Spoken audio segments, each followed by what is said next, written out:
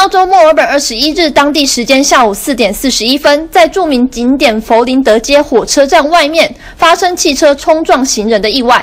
根据英国媒体报道，案发现场位于人潮众多的市中心，有多名行人遭到车子冲撞后倒地不起。目前至少有十三名行人受伤送医治疗。